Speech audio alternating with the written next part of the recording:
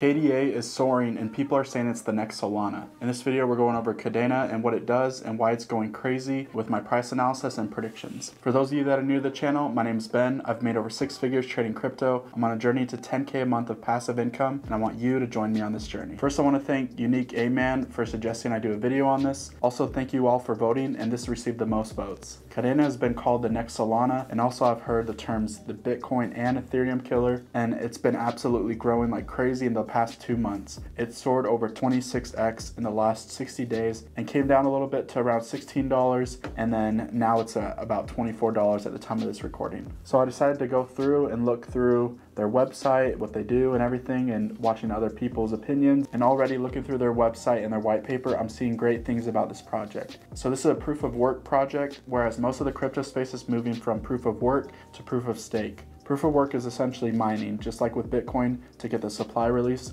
And for Kadena, a lot of the supply isn't out in circulation, but with this mining, it'll come out into circulation pretty quickly. And that's something to keep in mind when we look at this. So here on CoinMarketCap, you can see that only 16% of the supply is out in circulation. So the market cap is 3.8 billion right now, but the fully diluted market cap is almost 25 billion. So that's something to keep in mind when we're when it comes to the price predictions and where this coin can go. So the volume is about 300 million. When I'm looking for volume, I'm looking between 2 and 5%. If you take 280 million divided by 3.8 billion, you're going to get roughly like 7 or 8%. So it's above that 2 to 5% that I'm looking for. And I do this for all the projects that I look into. I want to see good trading volume because that means the coin is active, and that it's being traded a lot, and that means there's a lot of people that are interested in it. And this is really good volume, especially for the fact that it is only listed on, the only big exchange that I see it listed on are KuCoin and also Bittrex. So that means it hasn't been listed on any big exchanges like Coinbase or Binance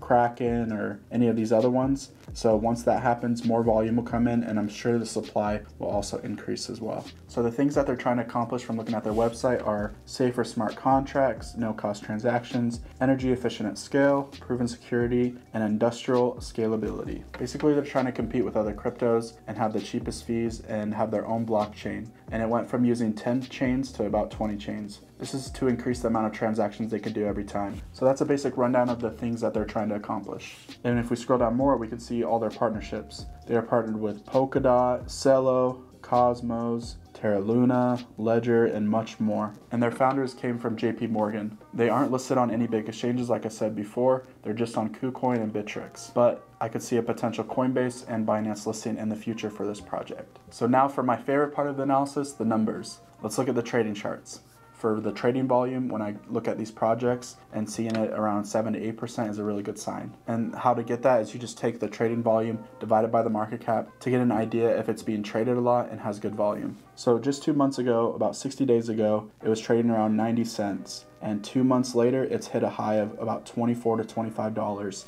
And that's been an increase of 2600 percent or a 26x in two months. And i remember seeing solana at 30 bucks or so and thought it had already increased so much this year with a 15x so it probably would just cool off from there. So i'll show you the solana chart so it went from like two, a dollar, two bucks, all the way to 20 to 30. And I was like 20 to 30. And even right here earlier, it was between 20 and 30. I was thinking that it has already gone up so much this year that it might need to cool off for a bit. But I was completely wrong because it shot up all the way to about $80 stayed there for a couple days, shot up to over 180, almost $200, and then now is over $200. So you never know what these coins can do, even with the logic where the mathematical standpoint and rational thing would be to expect a cool off period, but that was not the case at all for Solana, and could quite frankly be the same for Kadena. So with my logical way of thinking, I personally do think it would be a good idea to wait to get a good buy, good entry point. And so what I would look for on this is I would look, I'm on the daily chart on KuCoin.